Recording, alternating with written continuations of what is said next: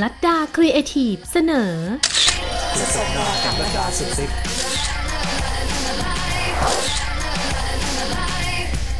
ร่วมสนับสนุนโดย King Power เข้าใจนักเดินทาง โทร 1631 Paradise Park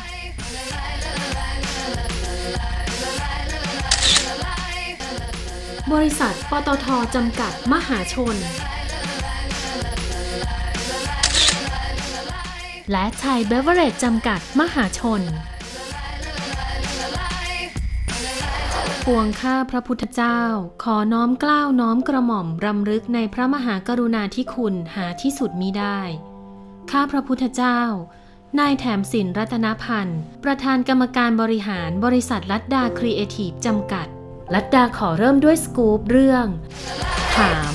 ทราบว่านิตยสารไทม์ที่ทรงอิทธิพลของโลกเคยเทิดพระเกียรติในหลวงและพระบรมราชินีของเราด้วยการอัญเชิญพระบรมฉายาลักษณ์ขึ้นปกมาแล้ว ขอถามว่าเมื่อไหร่ และคุณลัดดาจะหาภาพนี้มาให้เห็นกันจะได้ไหม สรันวรี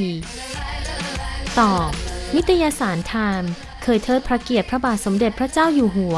กับสมเด็จพระนางเจ้าพระบรมราชินีนาถมาครั้งหนึ่ง โดยอัญเชิญพระบรมฉายาลักษณ์คู่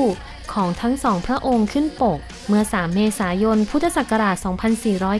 2493 สำหรับสมเด็จพระนางเจ้านั้น นิตยสารฉบับนี้ยังได้เคยลงเรื่องราวของพระองค์ท่าน คราวที่ทรงได้รับเลือกเป็นสุภาพสตรีแต่งกายดีที่สุดของโลก เมื่อ 8 มิถุนายน พุทธศักราช 2505 ด้วย ลัดดา ด้วยรักและอาลัย คุณทองแดงสุนัขทรงเลี้ยง ข่าวคุณทองแดงเสียชีวิตแล้ว เสียในวังไกลกังวล ยังความเศร้าสลดยิ่งนัก เพราะนอกจากคุณทองแดงเป็นสุนัขทรงเลี้ยง ทรงโปรดของล้นเกล้าในหลวงเราแล้ว ยังเป็นสุนัขที่มีความกตัญญูรู้คุณ ฉลาดแต่เจียมตน ซื่อสัตย์แต่แสนรู้ และที่สำคัญมีความจงรักภักดีไม่ลืมตน จากลูกสุนัขเร่ร่อนเข้าวังถวายตัว คุณทองแดงเกิดเขตวังทองหลาง เมื่อ 7 พฤศจิกายน 2541 แม่ชื่อแดง สายพันธุ์บาเซนจิ มีผู้นำไปถวายที่วังสวนจิต มีความฉลาดกระตันยูรู้ที่ต่ำที่สูงไม่ลืมตัว จนกลายเป็นสุนัขทรงเลี้ยงที่ทรงโปรด สิริอายุรวม 17 ปี 1 เดือน 9 วัน ลักษณะเด่นของคุณทองแดงคือ มีสายสร้อยรอบคอครึ่งเส้น ถุงเท้าขาวทั้งสี่ขา หางม้วน ที่สำคัญที่สุดคือจมูกแด่น และหางดอกสีขาว คู่ของคุณทองแดงก็คือคุณทองแท้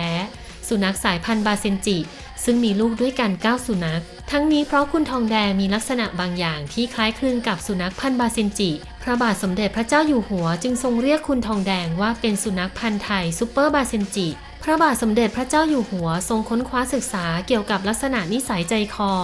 ของบาเซนจิอย่างถี่ถ้วน จนนับว่าทรงเป็นผู้เชี่ยวชาญเกี่ยวกับบาเซนจิมากที่สุดในประเทศไทย ทรงเข้าพระทัยจิตวิทยาของบาเซนจิว่าควรจะดูแลอย่างไร เพราะถ้าไม่เข้าใจนิสัยใจคอแล้ว จะรู้สึกว่าบาเซนจิเป็นสุนัขดื้อ จะต้องใช้ความละมุนละม่อม จึงทรงสอนและแสดงให้พี่เลี้ยงและครูฝึก ที่ดูแลสุนัขที่มีเชื้อสายพันธุ์บาเซนจิว่าควรจะปฏิบัติอย่างไร เมื่อเริ่มการฝึกครั้งแรก ๆ คุณทองแดงจะตื่นกลัว แต่เมื่อใช้ความละมุนละม่อม ก็ฝึกคุณทองแดงได้อย่างง่ายดายและทำได้ดีด้วย อยู่ในระเบียบวินัย เมื่อใกล้เวลาเสด็จ คุณทองแดงจะนั่งตรง ตาจ้องตรงไปยังจุดที่จะเสด็จลงไม่วอกแวก ลักษณะเด่นของสุนัขพันธุ์บาซินจิคือ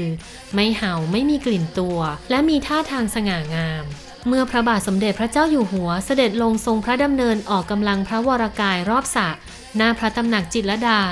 คุณทองแดงก็มีหน้าที่นำเสด็จ หลังจากนั้นก็เสด็จไปทรงพักผ่อนที่สนาม และเมื่อมีโอกาส ทรงถ่ายรูปคุณทองแดงในอิริยาบถต่างๆ